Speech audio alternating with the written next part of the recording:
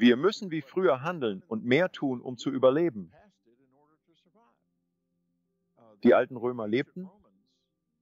Erfahrungen solcher Art, ihr Reich zerfiel. Ihre ganze Welt brach zusammen. Nicht nur ihr Reich, sondern alles, was sie über die Welt verstanden, änderte sich. Und wir werden viele Veränderungen erleben. Es wird einfach so passieren. Das Leben ändert sich. Nichts bleibt gleich. Ich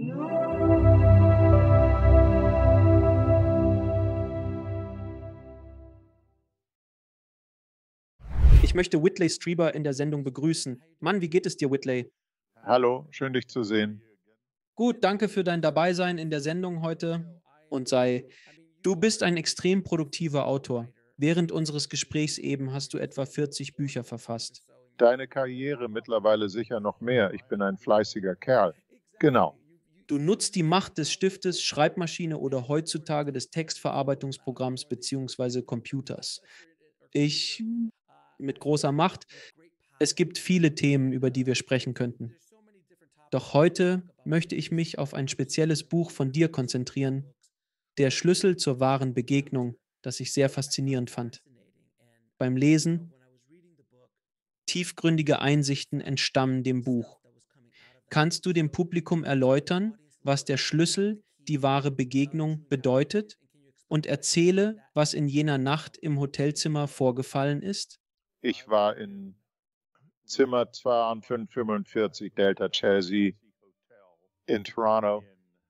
Es war die letzte Nacht, was sich herausstellen sollte.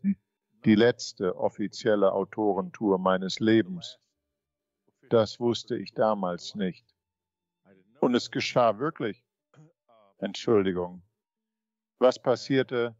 Ich war im Hotelzimmer nach einem langen Interviewtag, ziemlich müde und hatte Zimmerservice bestellt, den ich dort oben genoss. Legte mich aufs Bett. Ein paar Minuten später, es wirkte wie Minuten, klopfte es an der Tür. Ich blickte auf das, ich stand auf und sah das Tablett vom Zimmerservice noch immer auf dem kleinen Schreibtisch am anderen Ende des Zimmers. Ich dachte, es sei der Kellner. Ich blickte auf meine Uhr. Es war zwei Uhr morgens und ich sann nach. Sollte ich das tun? Aber ich wollte das Tablett loswerden. Also öffnete ich die Tür und dieser Mann kam herein. Er war so um die 100 Zentimeter nicht klein, aber auch nicht groß, eher durchschnittliche Größe, ziemlich schlank. Er trug dunkelgrau, Hosen in dunkelgrau, Rollkragenpullover, wenn ich mich erinnere. Er hatte weißes Haar, sehr freundlich. Ein älteres Gesicht, schätzungsweise in den 70ern, 60er oder 70er. Oder vielleicht sogar älter, wenn er zu denen gehört, die in diesem Alter sind. Verstehen Sie, ab und zu, er betrat sofort den Raum, ging zum Fenster, drehte sich um und stand somit vor dem geschlossenen Fenster. Die Vorhänge waren zugezogen und die Klimaanlage lief. Und in diesem Moment wurde mir klar, dass ich einen völligen Fremden in meinem Zimmer hatte, der rein gar nichts mit dem Zimmerservice zu tun hatte. Also ging ich hinüber. Hol ihn dir raus. Ich dachte bei mir, das kann doch nicht gut sein. Dieser Kerl ist hier, mitten in der Nacht. Ich muss ihn definitiv sofort hier rausbringen. Also, ich begann auf ihn zuzugehen und er sagte, du bist am Boden angekettet. Und ich sagte, entschuldigen Sie. Er antwortete, ich bin im Namen des Guten hier. Bitte geben Sie mir Zeit. Jetzt, ich, an diesem Punkt denke ich nach. Es ist ein Ventilator.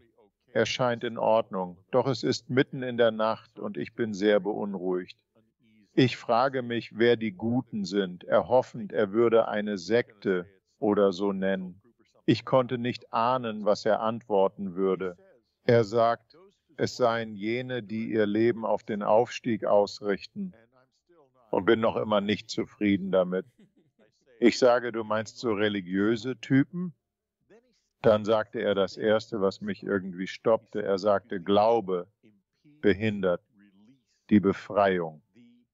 Der Aufstieg, von dem ich rede, ist Gott in sich und das Universum draußen zu finden. Ich zitiere aus dem Buch, aber das sind Zitate. Ich würde nicht sagen, dass es wortwörtliche Zitate sind, denn ich habe das erst zwei Jahre später aufgeschrieben. Es war die ganze Zeit in meinem Kopf, aber ich war hin und her gerissen. Ist es passiert? Ist es nicht passiert? Irgendwas. Ich rief Annie nächsten Morgen vom Hotel an und sagte, weil ich bin schlecht darin zu entscheiden, dass Dinge nicht wirklich passiert sind. Das war so, besonders wenn es seltsam zugeht. Jeder ist so. Ich bin nicht allein. Zumindest hoffe ich das. Also, ich rief sie am Morgen an und sagte, dass es wirklich passiert ist und das unterstützt dabei. Ich musste mich auf sie verlassen, mir zu sagen, alles aufzuschreiben und mich nicht selbst davon überzeugen zu lassen, dass es nicht stattgefunden hat. Und also zurück zu dem, was hier passiert. Ähm, danach sagte ich, als er das hier zur Sprache brachte, Aufstieg und das Finden Gottes im äußeren Universum, sage ich dann. Was bedeutet das? Und er sagt, die Menschheit ist gefangen. Und ich denke mir, was soll das sein? Und er sagte, es gibt ein paar andere Dinge. Er sagte, dass der Holocaust war das absolut wichtigste Ereignis der letzten 2000 Jahre. Und das hat mich irgendwie gestoppt. Der Holocaust, darüber denken wir nicht so gerne nach. Ich nicht. Ich meine wirklich nicht. Niemand tut das. Ich weiß Bescheid. Wir alle wissen Bescheid. Es gibt einige Leute da draußen, besonders in letzter Zeit, auf dem AOOOD, die es leugnen. Aber es ist sicher passiert und alles ist geschehen. Natürlich ist es das. Er sagte da nicht. Der Holocaust war das wichtigste Ereignis der letzten 2000 Jahre. Er meinte, ihr solltet längst fähig sein, den Planeten zu verlassen doch seid ihr noch immer hier gefangen. Ihr könntet unwiederbringlich verloren sein. Das ist ein Teil, das ist ziemlich hart, zu jeder Nachtzeit darüber zu sprechen. Besonders um 02 Uhr morgens von einem Fremden in deinem Hotelzimmer. Richtig, aber ich werde von seinen Worten mitgerissen. Das versuche ich dir zu sagen. Ich meine, so etwas habe ich in meinem Leben noch nie gehört. Ich meine, es ist, oh, der Holocaust war ein Ereignis, bei dem die Deutschen durchdrehten und viele Juden töteten. Es ist tatsächlich passiert.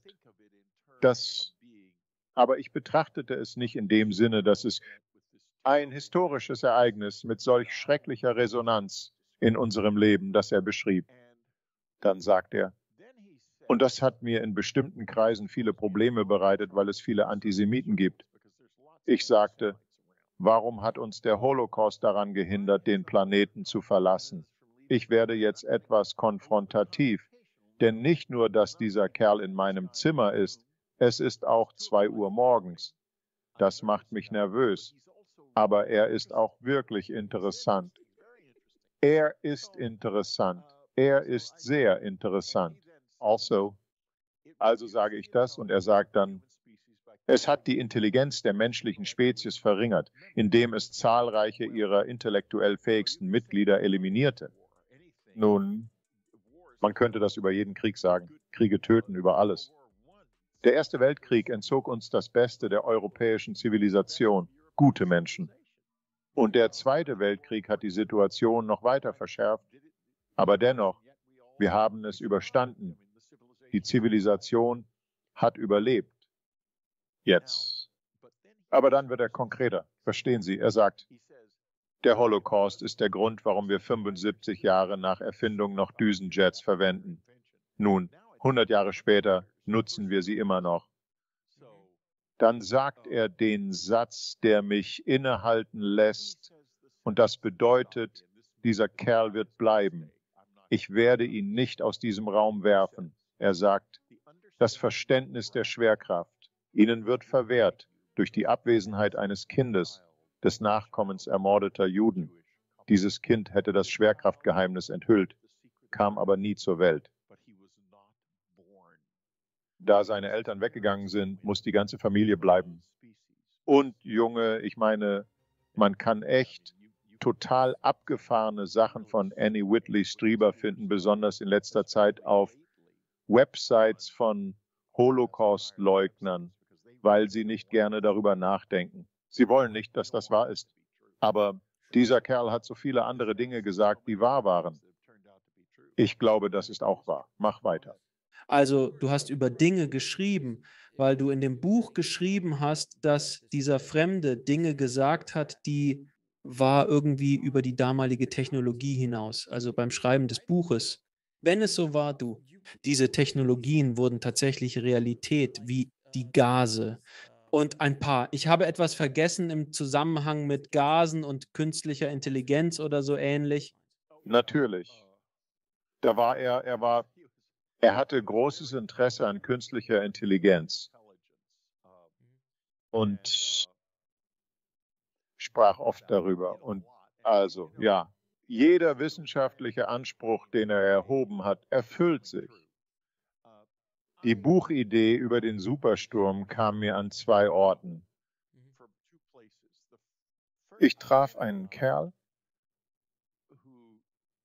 erzählte mir von ein riesiger Sturm, der Hawaii verwüstet hatte, wahrscheinlich 10.000, 20.000 Jahre zurückliegt und dass er so verheerend war, dass man sehen konnte, Orte an bestimmten Klippen, wo sie waren, zu öffnen, ausgehöhlt durch gigantische Winde.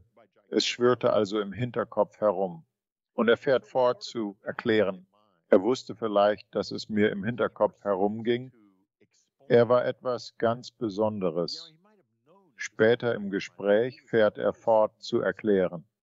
Transkription erstellt mit Hilfe von HTTPS, Shenlön Otter I. Das Prinzip dahinter, Klimaveränderung. Ich habe alles Gehörte verstanden und als ich nach Hause ging, habe ich das Buch nicht aufgeschrieben, aber ich fing an zu recherchieren, dieses Konzept des Supersturms. An der Oberfläche gab es kaum Forschung darüber. Doch als ich tiefer in wissenschaftliche Arbeiten eindrang über am Ende der letzten Eiszeit sah man Dinge, die im Grunde dem entsprachen, was er sagte, seltsam und sehr beängstigend. Und, und danach, ich habe gelesen, ich habe etwas anderes entdeckt, das mich seither verfolgt. Es gibt da einen Glaziologe, ich glaube, er ist noch unter uns, namens Lonnie Thompson, der Gletscher erforschte in dem peruanischen Anden und er entdeckte an den Grundlagen vieler dieser Gletscher, die alle etwa 5000 Jahre alt waren, Pflanzen blitzschnell eingefroren. So schnell, dass Zellen waren nicht zerstört worden wie Tiefkühlkost, die schockgefroren wird, also binnen Sekunden eingefroren. Und jetzt, nach tausenden Jahren, ruhen sie noch immer in den Gletschern. Ja, was bedeutet das? Es zeigt, dass sich das Klima verändert hat. Nicht an einem Tag, Monat, Jahr oder in einer Stunde, aber in Sekunden. In Sekunden. Es ist erschreckend. Ja, und es gibt Orte in Alaska und in Russland, wo es sehr seltsam konservierte Tiere gibt. Wir, die starben mit Nahrung noch im Maul. Irgendetwas ist passiert. Und noch etwas dazu, zur gleichen Zeit, als das in unserer Gegend geschah. Ein Mann, heute bekannt als Ötzi, der Eismann, befand sich im Tiroler Raum in der Steinzeit, wanderte durch eine Alpenwiese und wurde von einem Pfeil getroffen, getötet. Er fiel zu Boden und es begann zu schneien. Wir fanden seinen Körper nach 5000 Jahren unter dem Schnee. Anders gesagt. Er war auf einer Almwiese. Er wurde ermordet. Schneefall setzt ein. Der Schnee schmilzt nie. Er wird zu einem Gletscher, der erst nach 5000 Jahren zu tauen beginnt. Was lehrt uns das? Es zeigt, dass etwas grundlegend verändert hat auf der Erdoberfläche vor etwa 5000 Jahren. Sehr plötzlich und auch vor etwa 12.000 Jahren, als man diese schnell gefrorenen Pflanzen entdeckte. Ich meine, und so wie Tiere, das passiert. Und das ist der Ursprung, warum ich in Begriffen einer Art phänomenalen Sturms zu denken begann. Und er hatte beschrieben, er sagte, der Golfstrom könnte aufhören zu fließen, was eine plötzliche dramatische Klimaänderung zur Folge hätte. Jetzt, sofort, jetzt, genau jetzt, hört der Golfstrom auf zu fließen. Und wenn er aufhört zu fließen, wird es geben, über Nacht, diese unglaubliche Klimaveränderung. Jetzt, äh, als ich Superstorm erstmals veröffentlichte, basierend auf Ideen und Schlüsselkonzepten und in geringerem Maße auf dem Gehörten von der Mann, mit dem ich in Hawaii sprach, als ich es veröffentlichte. Ich veröffentlichte es mit Art Bell. Gemeinsam stürzten wir uns ins Getümmel und wurden nur verachtet. Matt Lauer, der in Ungnade Gefallene. Today Show Moderator sah uns in der Sendung verächtlich an. Er war echt gruselig, aber damals ein Star, was unserem Buch ziemlich schadete. Und Leute spotteten über die Idee des Supersturms. Vor ein paar Jahren. Weitere Studie veröffentlicht. Und dies ist eine Abhandlung über das Supersturm-Szenario verfasst von ungefähr 15 von einigen der bedeutendsten Klimatologen weltweit. Und diese Abhandlung zeigt auf, dass es tatsächlich stattfindet. Jetzt, genau jetzt, während wir sprechen. Ein subtropischer Sturm bildet sich gerade im Atlantik vor Südamerika, einer von nur zwei in den letzten 25 Jahren. Es gibt viele Anzeichen, dass der Golfstrom schwächer wird. Es ist wahrscheinlich, dass wir mehr starke Hurrikane erleben werden.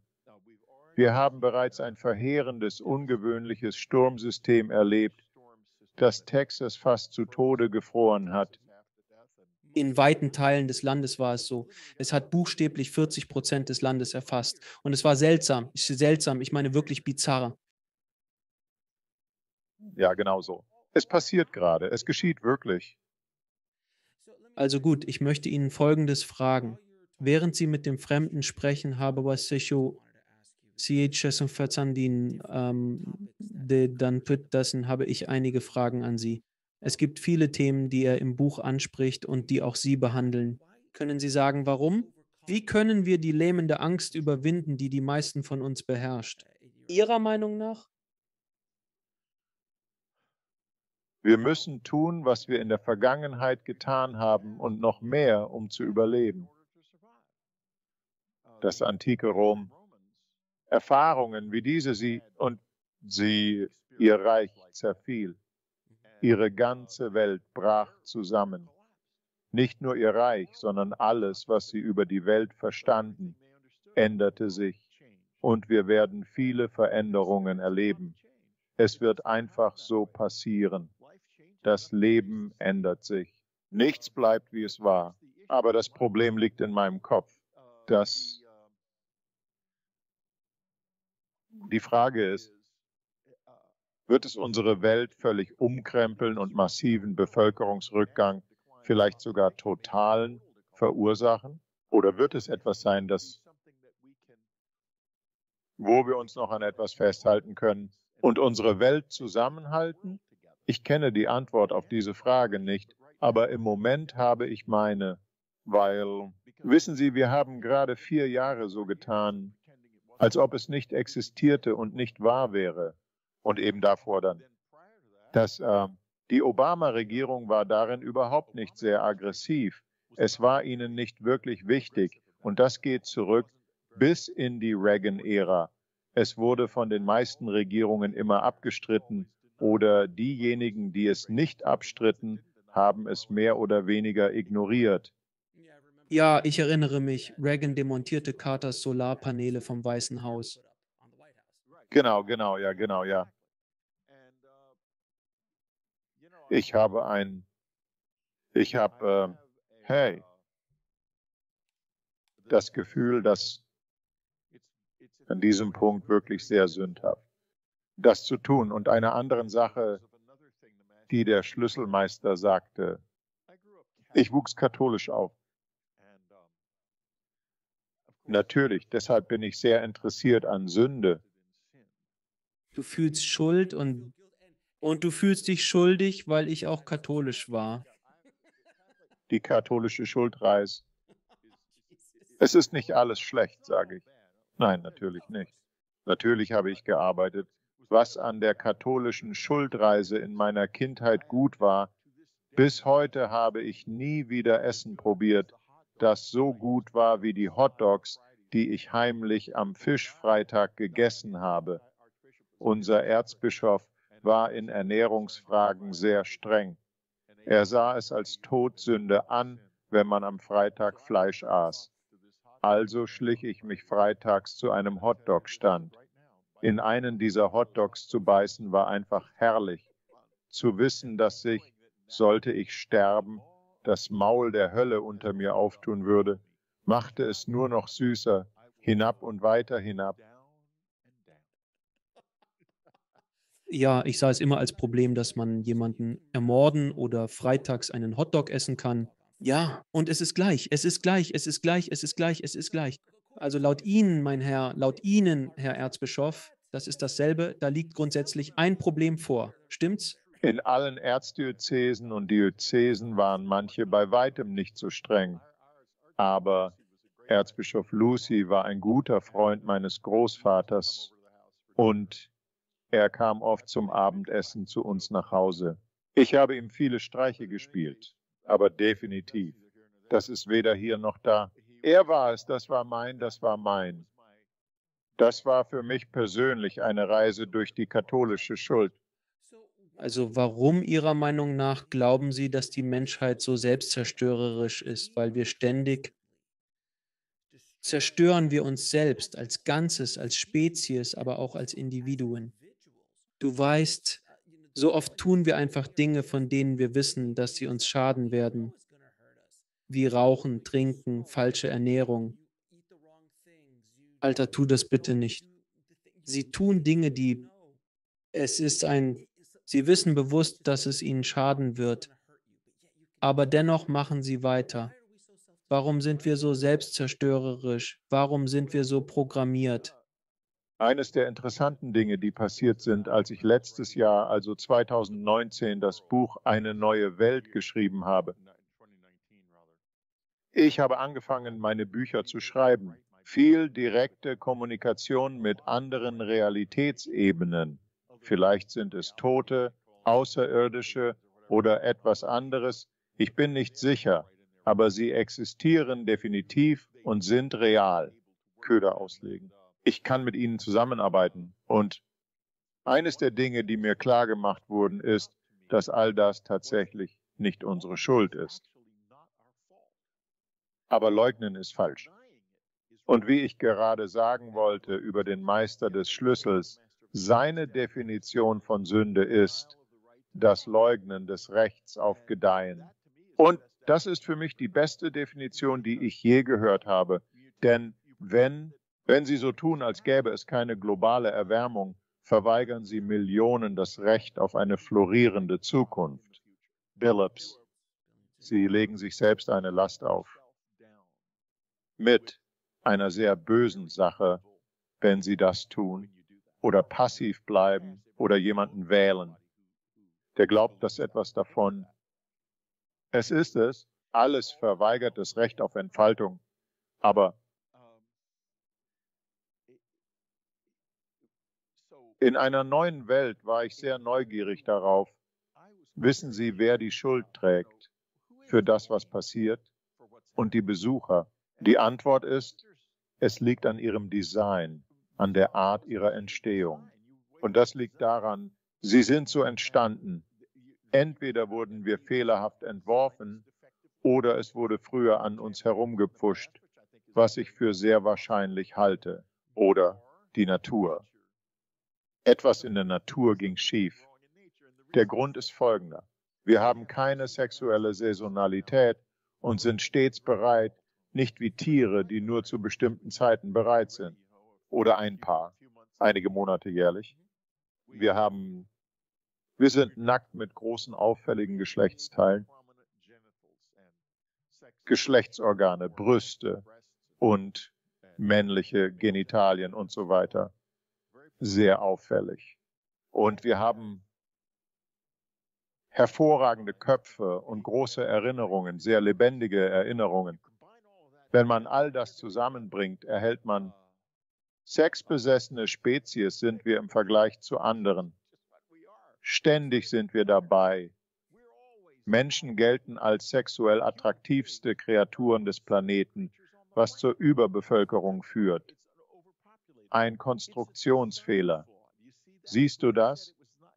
Es liegt an unserer Konstruktion, sagten sie. Und falls uns jemand so etwas angetan hat, dann wollen sie, dass wir es erleben.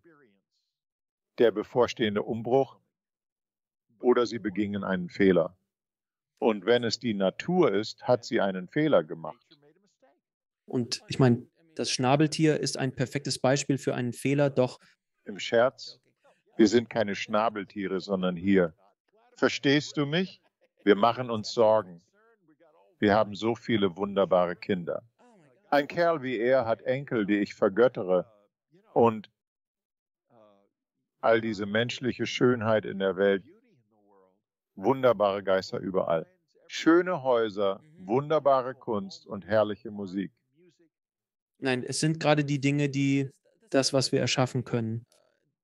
Dass die Menschheit erschaffen kann, ist bemerkenswert. Ich meine, es ist absolut bemerkenswert, die Schönheit, die wir erschaffen können. Eines der Dinge, die dass der Meister des Schlüssels, wie ihr ihn nennt, sagte, was ich als sehr tiefgründig empfand. Er sagte viele tiefgründige Dinge. Aber das, was ich so tiefgründig fand, war, dass wir in unserem eigenen Müll ertrinken werden, in unserem eigenen Materialismus. Und ich fand das eine so erstaunliche Metapher. Es ist nicht einmal eine Metapher, es ist die Realität. Wir ertrinken buchstäblich in unserem Müll. Die Ozeane werden so verschmutzt, dass wir das Ausmaß kaum begreifen können. Dieser Materialismus und die ständige Produktentstehung sind in der Menschheitsgeschichte beispiellos. Wo es nur um Konsum, Konsum, Konsum geht. Unsere gesamte Wirtschaft, unsere ganze Welt dreht sich um den Verbrauch. Wenn wir nicht konsumieren, steht alles still wie letztes Jahr, als die Pandemie die Welt für etwa einen Monat lahmlegte, was fast unvorstellbar ist. Es waren vier bis sechs Wochen, in denen die Welt buchstäblich fast vollständig zum Stillstand kam, bis auf Lebensmittel und das Allernötigste. Sie haben beobachtet, wie alles zum Stillstand kam. Welche Kräfte sollen die Menschen einsetzen, sobald die Dinge, die vorübergehen, vorbeigezogen sind? Das ist es, was den Motor am Laufen hält. Motor am Laufen halten halten Sie den Motor am Laufen, aber betrachten Sie es so, wenn der Motor nicht läuft. Sie haben kein Essen. Sie haben ihr, ihr, wir sind pleite. Oh, wir müssen echt. Das Seltsamste an uns ist in vielerlei Hinsicht, dass wir, wir ohne den Austausch dieser geheimnisvollen Papierstückchen nicht auskommen können. Und, und, und. Und so tauschen wir Waren untereinander aus. Das hat schon etwas sehr Seltsames an sich. Sehr seltsam.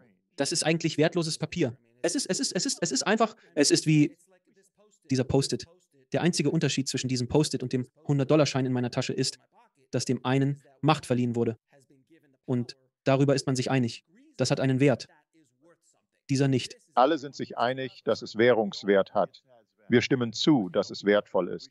Aber manche meinen, wir sollten zum Goldstandard zurück, was eine größere Katastrophe wäre, da nicht genügend Gold vorhanden ist, um die Währungen zu stützen. Oh, das wären 30. Ich glaube, es waren etwa 30.000 oder 40.000 Dollar pro Unze Gold, sonst nähert es sich den 100.000 Dollar. Oh, weltweit wäre es zweifellos viel mehr. Ich meine, betrachte nur die Vereinigten Staaten. Aber wenn die ganze Welt zum Goldstandard zurückkehren würde, was sie müsste, wenn es die USA täten, dann würdest du Gold bestimmt bei einer Million Dollar pro Unze sehen. Und weißt du, für jeden mit einer Unze Gold wäre das wahrscheinlich gut. Du hast recht, allerdings, es wäre einfach nur ein, es ist einfach eine seltsame Sache. Aber all diese Leute, die Zähne vermarkten. Oh Gott, mein Gott. Oh mein Gott, es wäre, es wäre, es wäre. Ich kann das einfach nicht begreifen. Das wäre katastrophal. Oh mein Gott, das wäre es. Aber dieser Materialismus, Dinge zu brauchen, Objekte zu benötigen, hinter Sachen herzujagen, die, ich habe mir das angesehen. Ich dachte neulich nach, wir hatten einen Todesfall in der Familie. Sie war 94, führte ein langes Leben, und am Ende, egal was sie besaß. Man kann häufig nichts damit anfangen.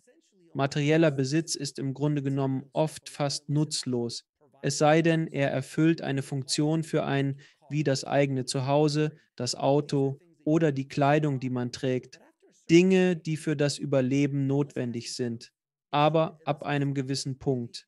Es sei denn, es hat eine Art von Bedeutung, es sei denn, es fügt deinem Leben wirklich einen enormen Wert hinzu. Es ist nur zusätzlicher Kram, der dich im Grunde besitzt, wenn du umziehst. Du musst all diese Dinge mitschleppen. Es gibt eine ganze Branche für Lagerung, um unseren Kram zu lagern, den wir nicht einmal benutzen. Es ist reiner Wahnsinn. Nun, auf eine Art ist es das. Und du weißt, es hat begonnen, begann sich das zu ändern, da die Römer mit ihrem Fortschritt und ihrer Organisation zu Reichtum und Besitztümern kamen. Die Römer besaßen den Ehrenkurs, der dort verlief. Du musstest erlangen, du musstest ein Römer, Adliger musste handeln, gewisse Ehren in seinem Leben und in ihrem, doch vorwiegend in seinem erlangen. Es war eine männerdominierte Gesellschaft und Reichtum war wichtig. Diese Personen horteten absolut ungeheure Vermögenswerte.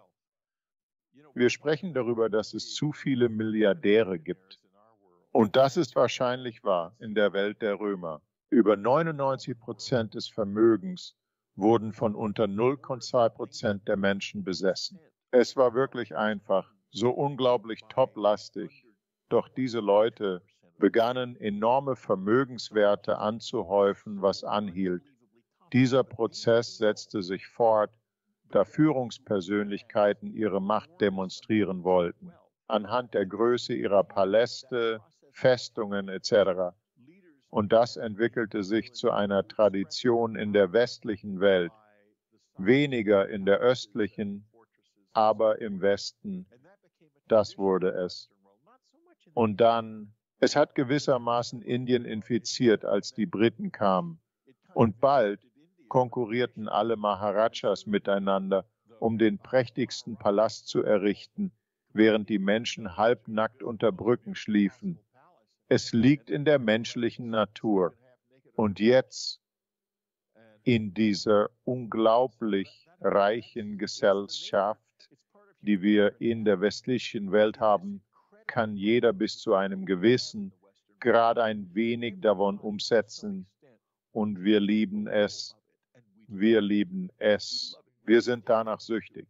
Das ist ein starker Ausdruck, süchtig, süchtig. Es ist wahr, die materielle Welt ist eine echte Sucht.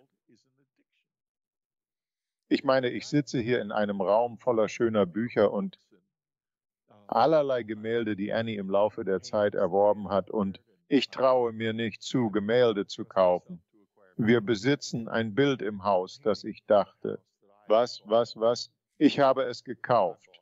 Dieses Gemälde hat so stark an Wert verloren, dass man Dollar hineinstecken könnte und sie verschwinden. Es ist gleichsam ein schwarzes Loch. Von dem schwarzen Loch-Gemälde, genau. Sie hat es von Anfang an gehasst. Aber sie ließ mich es aufhängen, all ihre Gemälde. Ich habe all ihre Gemälde den Kindern gegeben, meinen Kindern. Hm? Oh, vor ein paar Jahren. Aber trotzdem habe ich hier immer noch eine Menge davon. Es ist wirklich wunderschön und ich liebe es, von all dem umgeben zu sein. Das liegt einfach in der Natur des Menschen. Trotzdem, wenn es Dinge sind, die deinem Leben, deinem Alltag einen Mehrwert bieten, verstehe ich das. Aber es gibt Sachen, und das merkt man wirklich erst, wenn man umzieht, wenn man denkt, ich habe dieses Ding schon so lange mit mir herumgetragen. Ich bin jetzt alt genug, um zu wissen, dass ich Kram seit 20 Jahren mit mir herumschleppe. Und dann diese Mentalität, dass ich es eines Tages vielleicht brauchen könnte, dieses Denken, dass ich es eines Tages vielleicht brauchen könnte, dieser Tag kommt nie. Und wenn er doch kommt, dann könnte ich vielleicht einfach, hätte ich das wirklich gebraucht, hätte ich es nicht einfach nachkaufen können, anstatt es immer mitzuschleppen. Die Kosten für Lagerung und so weiter. Es ist hübsch. Es ist ziemlich bemerkenswert. Aber ich wollte es auch. Es gab noch etwas, das der Meister des Schlüssels sagte, was wirklich wieder einmal tiefgründig war, die Verbindung zwischen die drei großen geistigen Lehrer, Christus, Buddha und Mohammed, und die verschiedenen, die verschiedenen Energien, die jeder besitzt. Können, können Sie das erläutern? Ja, das ist einer der faszinierendsten Aspekte daran. Er betrachtete, er sah die drei Religionen als Teile eines Ganzen, als Stücke von etwas Größerem.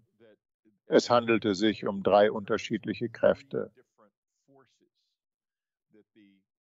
Die aktive Kraft war der Islam, denn er ist sehr ausbreitend, sehr missionarisch, mehr als die anderen beiden. Die passive Kraft war der Buddhismus. Und die versöhnende Kraft, die beide ausgleicht, ist das Christentum Jesu Lehre. Es ist eine interessante Sicht auf ein viel größeres Bild von Religion, als wir es je sehen, da wir aus der Perspektive unserer eigenen Religion blicken. Wir sind von Natur aus Gläubige, sagte Anne immer. Die Menschheit ist zu jung für Glaubensvorstellungen. Wir brauchen gute Fragen. Und das stimmt wirklich. Und, aber, aber wir haben Überzeugungen. Und wenn du Christ bist, du hast kein Interesse am Buddhismus und als Muslim ist es sogar falsch, manchmal andere Religionen zu studieren. Wenn du Buddhist bist, du glaubst nicht, dass die Christen und die Muslime viel von Wert zu sagen haben, aber das stimmt nicht. Alle drei haben großen Wert. Darin hatte er recht, und wenn man sie im Kontext zueinander betrachtet, wenn man das Christentum durch muslimische Augen oder buddhistische Augen sieht, erkennt man dort einen ganz anderen Wertekanon. Und das gilt genauso für die anderen beiden. Sieht man durch die Augen des Christentums auf Buddhismus und Islam, entdeckt man dort ebenfalls einen sehr unterschiedlichen Wertekanon. Jetzt meine ich damit allerdings nicht, der Gläubige Augen, die ablehnen oder das ist eine Ablehnung. Nein, ich lehne das ab, weil das ist Buddha, nicht Jesus, aber ein anderes Auge, ein offenes Auge.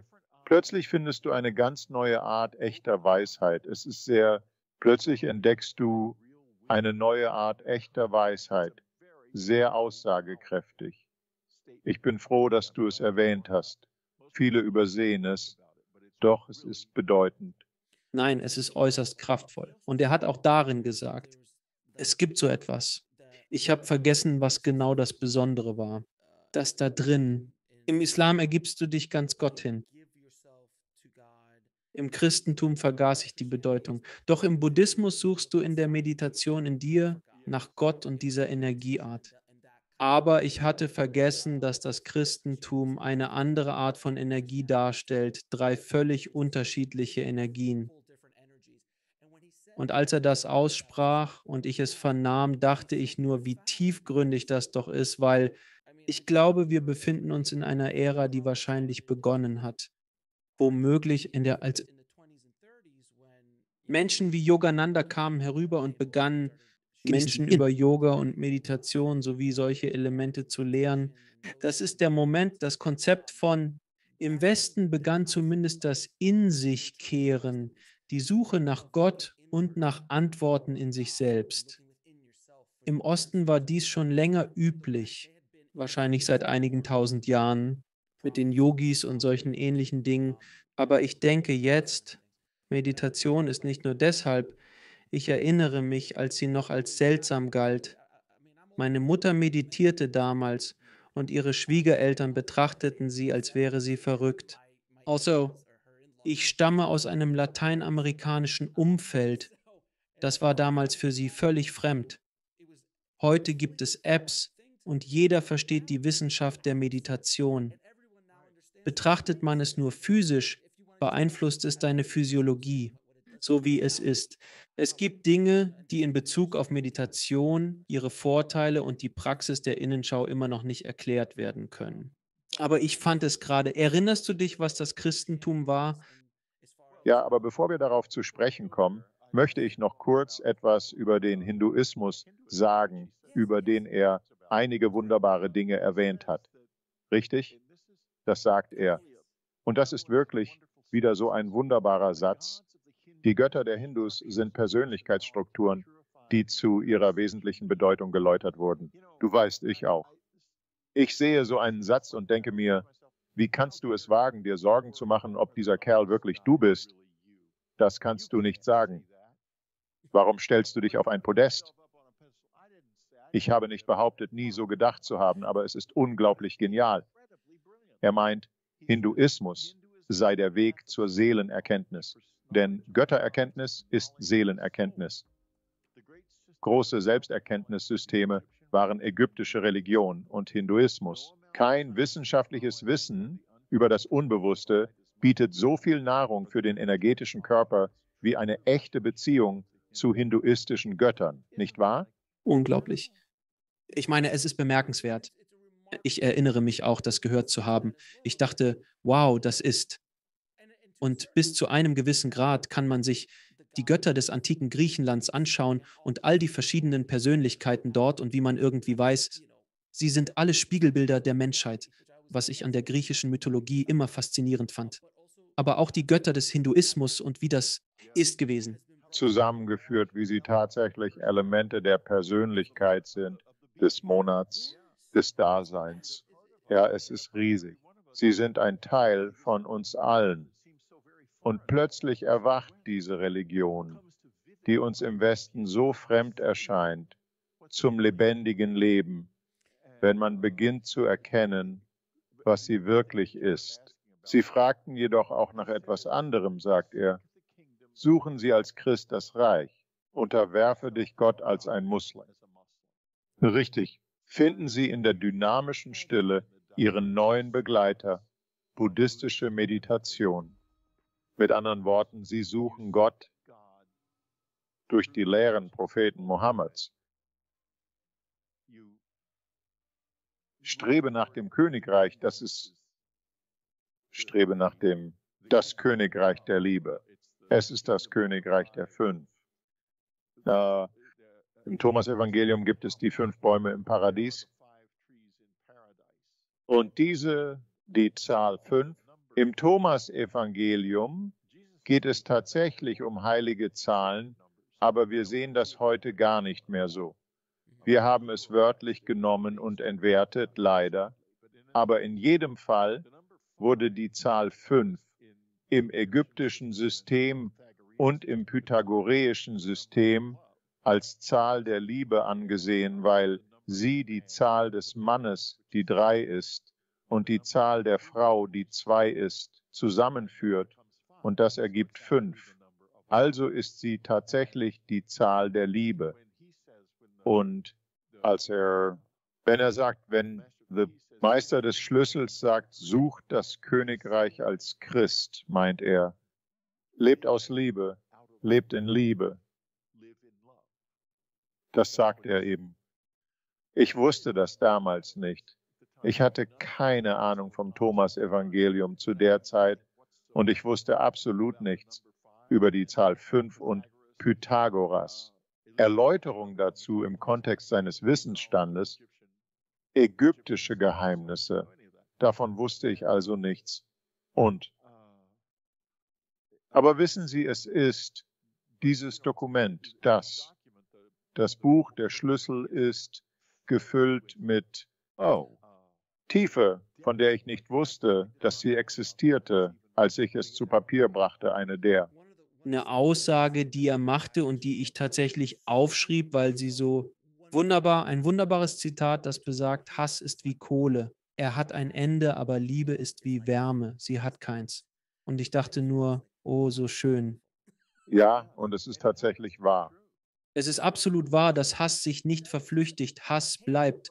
Doch Liebe, sie breitet sich einfach aus und wächst. Ja, schon. Er ist er. Er betrachtete das Böse als entropisch. Das heißt, es ist, als wäre es. Es ist wie absoluter Nullpunkt. Es findet ein Ende. Es gibt kein. Am Ende bleibt nichts mehr übrig. Es brennt sich selbst aus. Es brennt sich selbst aus. Es brennt selbst aus. Aber Liebe brennt ewig. Sie geht stets weiter und weiter. Über Generationen und Generationen hinweg. Es hört einfach nicht auf. Aber Hass wir leben in einem Universum, das auf Ekstase zusteuert, nicht nur sexuelle, obwohl sie ein Teil davon ist. Nein, natürlich. Natürlich. Und du, ich wollte gerade, das ist eine sehr tiefsinnige Frage. Was ist deine Definition der Seele? Die Show trägt den Namen Next Level Soul.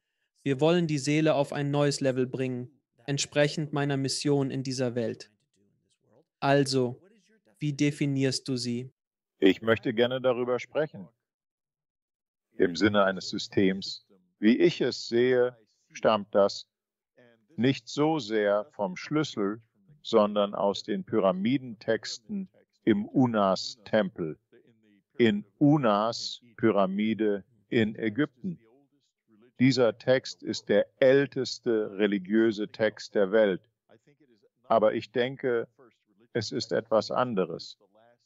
Ich glaube, es ist nicht der erste religiöse Text, sondern eher der letzte Text der Seelenwissenschaft, einer wiederholbaren Seelenwissenschaft. Ich glaube, wir besaßen diese Wissenschaft bereits vor langer Zeit, denn dieser Text ist 3000 Jahre alt. Betrachtet man ihn und die enthaltenen Ideen, sind sie sehr ausgefeilt, hochentwickelte Ideen. Das war nicht der Anfang. Das ist das Ergebnis einer langen Evolution des Denkens und Beobachtens. Im Kern erkennt es bezüglich der menschlichen Struktur. Es gibt einen physischen Körper.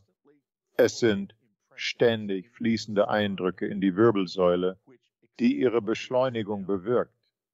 In einem Blick eine Vision, Vision, Ägypter haben sie gesehen, als eine Säule aus Licht. Diese Lebensimpressionen werden in der Lichtsäule beschleunigt und durch einen elektrischen Körper, den zweiten Körper, geleitet. Tief in die Seele. Die Seele, der aktive Teil dieses Trios, ist der physische Körper und die Persönlichkeit, die durch Zeit bewegt. Der passive Teil davon ist die Seele, die außerhalb der Zeit steht und viele Körper hervorgebracht hat.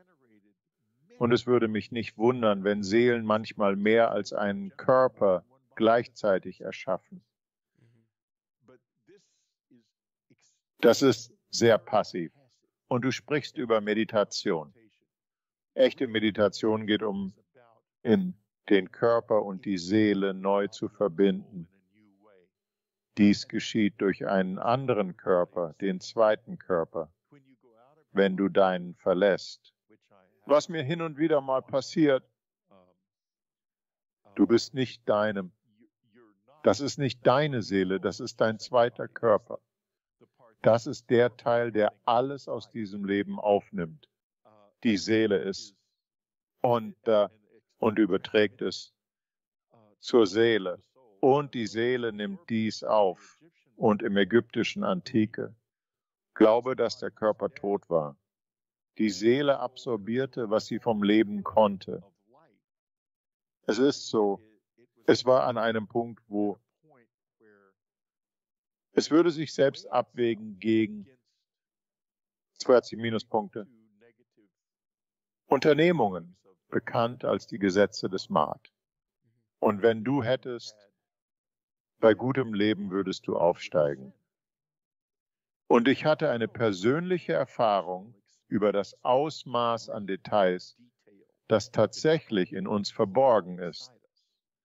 Vor Jahren, wohl 1990 oder 88 im Februar, ich bekam einen Anruf, war in einer Hütte im Norden New Yorks und es war Wochenende. Draußen gab es ein Geräusch. Wie ein Signalhorn, ein sehr gespenstischer Klang. Und ich wusste sofort, was es war. Es waren die Besucher und sie riefen nach mir.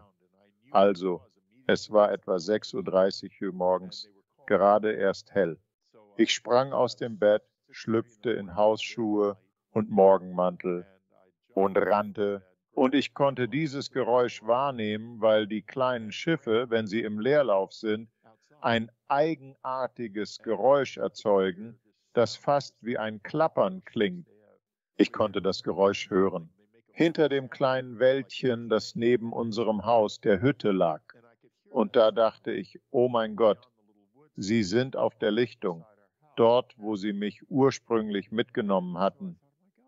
Und so ging ich über unsere Terrasse und auf einen kleinen Hügel, und ich konnte durch den winterlich kahlen Wald sehen, dass sie dort waren.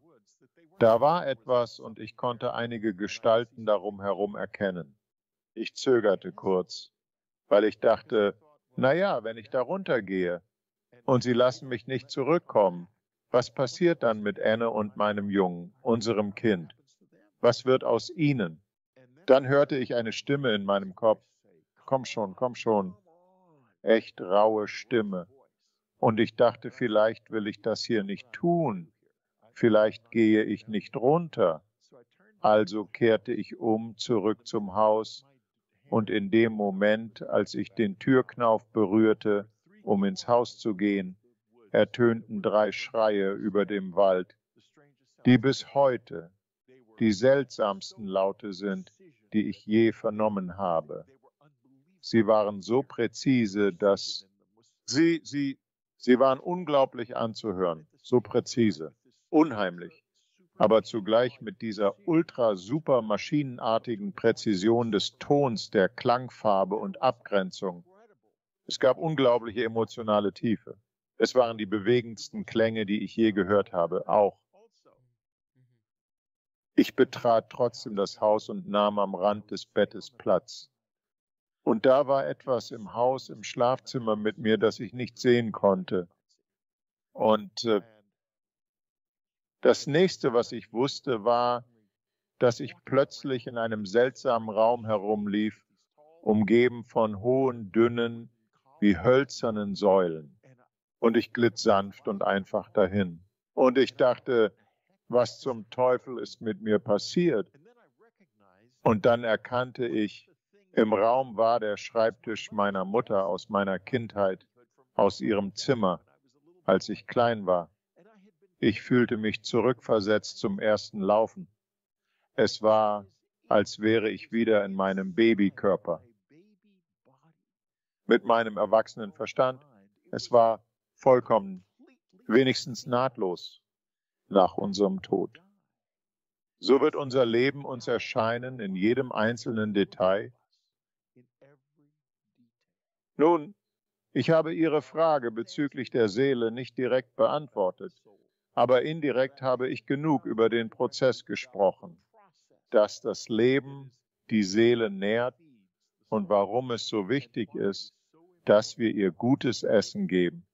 Gut, das ist also die Erfahrung von dem, was wir Leben nennen, die Erfahrung des Kommens dieses zu diesem Feld der Existenz als menschliche Wesen und es durch verschiedene Verfahren anders, weißt du? Abenteuer, wenn Sie so wollen. Du weißt, wie man ist. Als Mann, speziell als weißer Mann in den USA 2020, erlebt man das Leben ganz anders als ein Jude im Holocaust. Das sind zwei völlig unterschiedliche Erfahrungen. Oder als Sklave. Ja, das ist grundlegend anders. Aber all diese Erfahrungen sind es, die nähren, die Seele nähren. Und das eine, was ich auch interessant fand über das Buch, über das der Meister des Schlüssels, das hat er auch gesagt. Und das ist meiner Meinung nach für viele Menschen so kontrovers, dass das Böse und das Gute, das ist eigentlich irrelevant. Es existiert kein echtes Böses, kein absolut Gutes.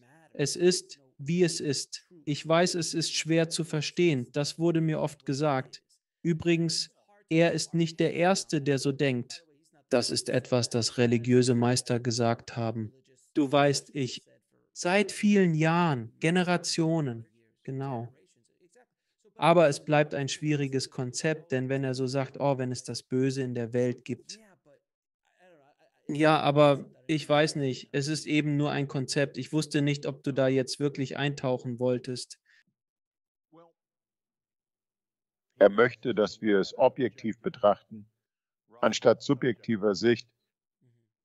Und äh, subjektiv, wir betrachten es als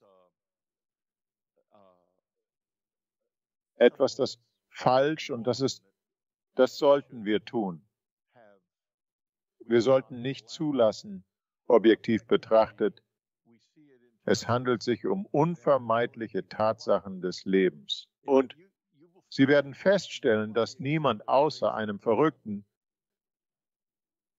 in Ordnung beabsichtigt, Böses zu tun oder denkt, es irgendwann zu tun. Diese SS-Offiziere glaubten, Gutes zu tun und der Welt zu helfen. Einige von ihnen blieben auch nach dem Krieg, waren überrascht, wie wütend die Welt auf sie war. Sie dachten, sie hätten allen einen Gefallen getan. Nun, das liegt daran, dass jeder der Held seiner eigenen Geschichte ist. Um nachts schlafen zu können, muss man der Held seiner eigenen Geschichte sein. Nein, das er tut es nicht, er, er tut es einfach. Hat mehr als eine Vorstellung vom Bösen. Ich meine, er sagt, mach dir nichts vor. Die Menschen können so schwer werden, dass sie in die Erde einsinken. So wie der energetische Körper außergewöhnliche Freude empfinden kann, kann er auch qualvolle Schmerzen erleiden. In deinem Körper hast du einige Millionen Nerven, aber in deinem energetischen Körper kann jedes winzige Stückchen Sein erfahren, die Gesamtheit der Ekstase oder der Qual. Also weißt du, das musst du dir bewusst sein. Das ist eine gewichtige Aussage. Ja, das ist eine gewichtige Aussage. Glaubst du wirklich? Glauben Sie, dass wir uns selbst zerstören? Besteht noch Hoffnung für unsere Spezies? Wir erleben eine erhebliche Umwälzung auf dem Planeten Erde. Es wird bereits geschehen. Es passiert sicherlich. Etwas hat bereits begonnen. Es ist bereits in vollem Gange. Ja, ganz genau. Es ist es nicht. Es wird nicht gehen. Verschwinde. Und wie viele von uns kommen auf der anderen Seite heraus und in welchem Zustand? Ich kenne die Antworten auf diese Fragen nicht. Ich bin unsicher. Ich glaube nicht, dass es so bleiben wird, wie es jetzt ist. Ich denke, bald werden viel weniger Menschen auf dem Planeten sein. Aus dem Grund, den du dir selbst vorhin gesagt hast, der Planet füllt sich und wir werden durchmachen, das Artensterben. Und wie du in der Erdgeschichte sehen kannst, passiert das die ganze Zeit. Es ist nichts Neues und es ist einfach ein Teil des Lebens der Erde. Und wir sind auch ein Teil des Lebens der Erde. Jetzt gibt es allerdings eine Art Joker. Das ist der menschliche Verstand. Ich glaube, es, äh, es ist wahrscheinlich, dass die Lage erst eskaliert, bevor sie sich bessert, aber wir werden es schaffen. Retten wir uns und wir werden uns retten durch den Einsatz von Wissenschaft, Technologie und eine neue Menschheitsvision, beginnend mit der Seele, nicht dem Körper. Es gibt eine Sache, ich unterbreche nicht, bitte fahren Sie fort. Nein, machen Sie weiter. Nein, da war eine Sache, die ich erinnere, als Sie sprachen, fiel mir dieser Kommentar ein, wo Entdeckungen führten zu Dingen, die wir heute für selbstverständlich halten, die aber vor 100 Jahren fast wie Zauberei wirkten. Ach ja. Danke sehr. Es gibt einfach Unmengen an Zeug. Ich meine, das Internet und Telefone und Fernsehen und Radio und das Fliegen. Ich liebe das Zitat aus dem Buch, in dem es im Grunde heißt, ein Buch, Brüder Wright. Als sie flogen, flogen sie wirklich. Und die New York Times sagte, das war's. Das ist gefälscht, wirklich nicht passiert. Ein berühmter Wissenschaftler veröffentlichte Monate bevor sie flogen eine Abhandlung, die darlegte, wie schwerer als Luftflug unmöglich sei. Richtig, dann flogen sie. Und heute lachen wir darüber, aber damals fast passiert. Es war einfach Wahnsinn. Allein der Gedanke daran galt als Wunder. Und manche hielten es für teuflisch. Natürlich. Stets, stets, stets, stets. Alles Neue ist teuflisch. Wir lieben das Teuflische. Es ist so unterhaltsam. Ganz genau, genau. Bevor wir gehen, wollte ich mit Ihnen über Ihr neues Buch sprechen, Jesus, die neue Vision. Können Sie uns ein wenig darüber erzählen, was Sie dazu bewogen hat, das Buch zu schreiben? Mein Antrieb, das Buch zu schreiben, war die tiefe Verbundenheit zu meiner Arbeit und Frau. Sie ist körperlich fort, doch ihr Geist bleibt. Daher trage ich beide Ringe. Sie ist eine brillante und eine sehr lebendige Präsenz. Ich arbeite mit anderen unter Toten, nehme an, und vielleicht mit Wesen, die nie menschlich waren oder es nicht sind, und ich weiß es nicht.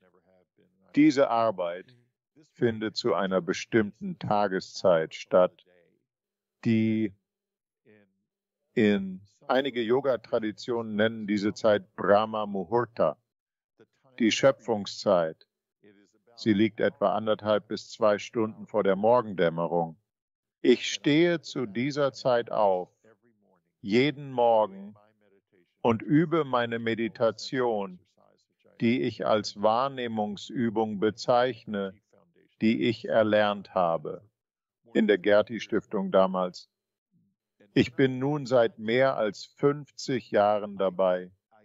Und wenn ich es damals mache, ich engagiere mich mit einer Kreativität, die sehr kraftvoll ist. Ich folge dem und es hat mich dazu geführt, dass ich kürzlich drei Bücher geschrieben habe. Afterlife Revolution, meine Erfahrung, wie ich Anne nach ihrem Tod auf eine ganz neue Weise wiederentdeckte. Eine neue Welt, die Geschichte. Es geht darum, effektiv mit Besuchern zu kommunizieren und nun auch mit Jesus. Eine Vision, die Nutzung von Wissen aus einer Ebene beinhaltet, wo es ein perfektes Verständnis der Geschichte gibt. Ich konnte die Geschichte von Jesus in menschlichen Begriffen neu schreiben. Ja, die Auferstehung fand statt. Und ja, er war tatsächlich auch ein Mensch. Und was es aussagt.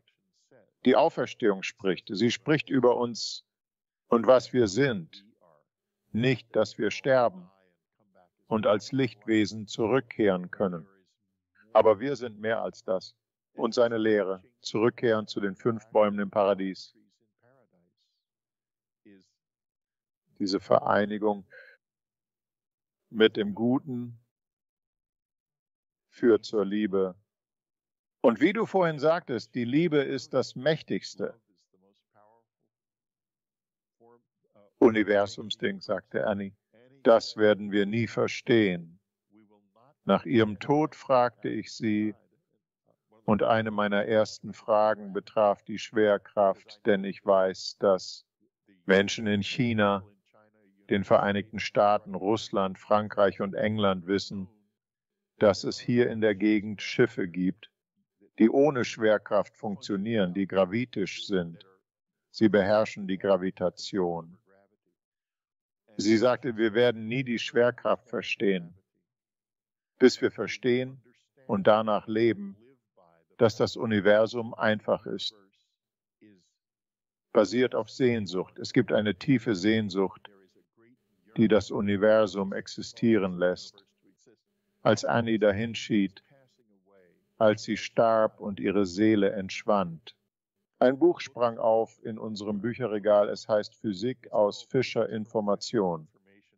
Annie kannte es sehr gut und es schlug eine Seite auf, auf der gelbe Markierungen waren sichtbar. Es war mal Hopler markierter Ausdruck. Das Universum begann als eine einzige ursprüngliche Erkenntnissuche. Und es ist in Kontakt mit dieser Bewusstseinsebene treten. Dies wird uns das nötige Verständnis geben, um die Menschheit ins Universum zu entfalten und um den bevorstehenden Umbruch zu überleben. Wir werden es genauso umsetzen. Es wird nicht daran scheitern, dass Elon Musk es schafft, 150 Menschen zum Mars. Es liegt daran, jeder gehen kann und wir können finden neue Welten für uns selbst. Aber es braucht nicht nur Wissenschaft. Wir müssen Frieden finden in uns selbst und mit unseren eigenen Seelen und mit diesem Universum. Und all das ist, ist nicht direkt in Jesus zu finden. Es ist eine Vision davon, wie man gut lebt, wie er es tat und warum er so lebte warum auch wir so leben sollten. Glauben Sie mir. Tun Sie es nicht, wissen Sie. Lesen Sie das Buch, wenn Sie es versuchen wollen. Ich habe statt der Evangelien die Seligpreisungen, die den grundlegenden Moralkodex darstellen, selbst neu übersetzt. Aber er, weil die vorhandenen Übersetzungen nicht ausreichend sind. Das ist Jesu neue Vision. Whitley, danke für deine Zeit, die Arbeit, die du leistest und deine Hilfsbereitschaft, Seelen weltweit auf das nächste Level zu bringen. Ich schätze es wirklich, mein Freund. Es ist schön aufzuwachen. Glaub nie das Gegenteil. Danke, mein Freund. Danke sehr. Danke fürs Zuschauen. Klicken Sie unten auf ein Video, um fortzufahren und vergessen Sie nicht zu abonnieren.